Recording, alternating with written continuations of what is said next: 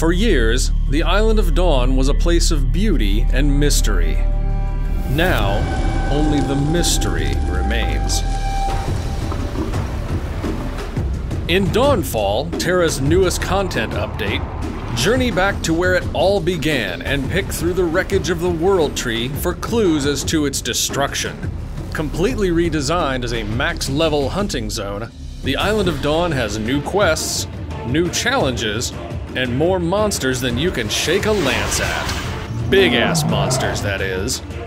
Navigate strained alliances between factions that are hoping to control the island's secrets for themselves, and fight BAMs for fun and profit across the entire island.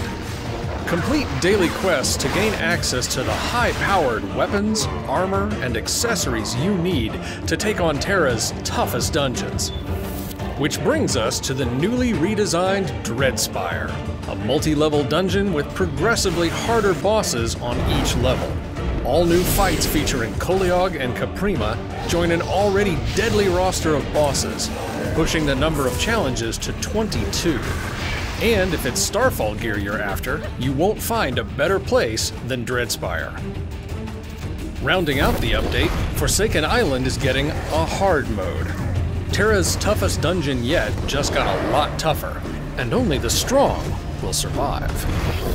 New max level content, better rewards, and even more of the best action ever seen in an MMO. This is TERA.